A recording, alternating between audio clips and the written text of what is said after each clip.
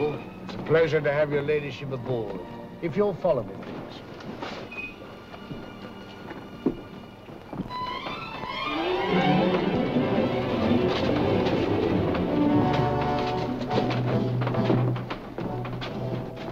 Why hasn't it happened?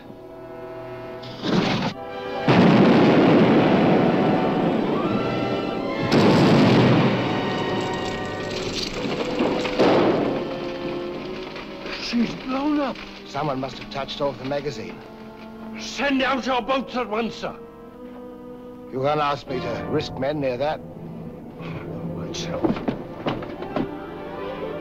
Let me go. Captain!